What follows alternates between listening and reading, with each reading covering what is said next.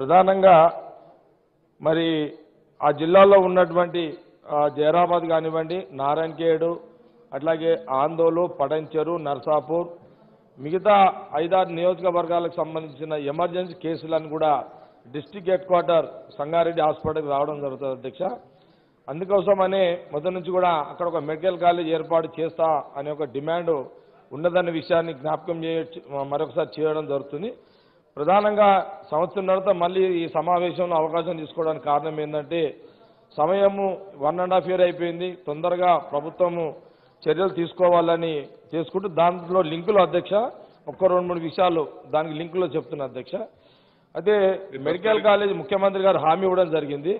సంతోషం అధ్యక్ష సంవత్సరం అయింది. అది తొందరగా కావాలని రెండవది నేను మంత్రి గారిని ఏం కోరుతున్నా అధ్యక్ష అట్లా సిద్దిపేటలో కూడా శాంక్షన్ ప్రకటించిన తర్వాత దా శాంక్షన్ కంటే ముందు వెయ్యి కోట్ల రూపాయలు మరి అక్కడ మెడికల్ కాలేజ్ కంటే ముందు శాంక్షన్ ఇవ్వడం జరిగింది. ఆ వెయ్యి కోట్ల ద్వారానే కాలేజ్ శాంక్షన్ వచ్చే కంటే ముందే బిల్డింగ్స్ కానీ స్ట్రక్చర్స్ కానీ చేసుకోవడానికి వెయ్యి కోట్ల రూపాయలు కూడా ఇక్కడ కూడా మంజూరు ఇవ్వాలని కోరుతున్న అధ్యక్షులు. ఇప్పుడు ఆల్రెడీ రెండు వందల బెడ్స్ ఉన్నాయి ఆల్రెడీ. ఇంకా ఐదు వందల బెడ్స్కి సంబంధించిన శాంక్షన్ కూడా మంత్రి గారిని ఇవ్వాలని మెడికల్ కాలేజ్ శాంక్షన్ కంటే ముందు ఇవ్వాలని నేను కోరడం జరుగుతుంది అధ్యక్ష.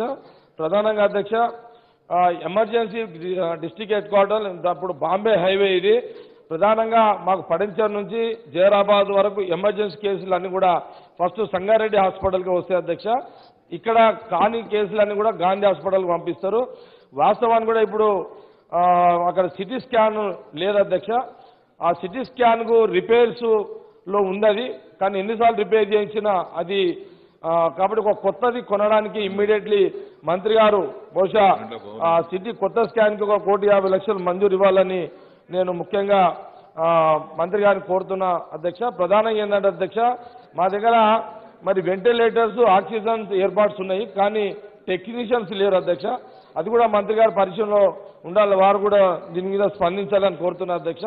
ప్రధానంగా సంగారెడ్డి డిస్టిక్ హెడ్ క్వార్టర్లో మరి డాక్టర్స్ ఉన్నప్పటికీ ఇంకా కొరత ఉంది అధ్యక్ష.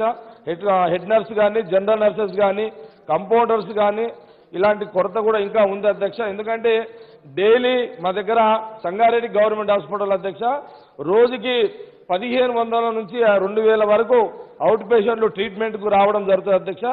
దాదాపు నెలకు అరవై వేల మంది సంగారెడ్డి గవర్నమెంట్ హాస్పిటల్ ట్రీట్మెంట్ వస్తారు అధ్యక్ష.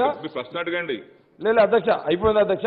కాబట్టి నేను తప్పకుండా మరి మంత్రి గారిని కోరుతుంది ఏంటంటే మరి వీలైనంత వరకు తొందరగా మెడికల్ కాలేజ్ శాంక్షన్ ఇచ్చే కంటే మందులు వెయ్యి కోట్ల రూపాయలు శాంక్షన్ ఇచ్చి ఆ యొక్క బిల్డింగ్స్ కట్టుకోవడానికి యాభై ఐదు వందల బెడ్స్ శాంక్షన్ కూడా ఇవ్వాలని కోరుతూ తొందరగా మరి ఆ మెడికల్ కాలేజ్ సంబంధించిన శాంక్షన్ తొందరగా ఇవ్వాలని నేను మంత్రి గారిని కోరుతున్నాను. అధ్యక్ష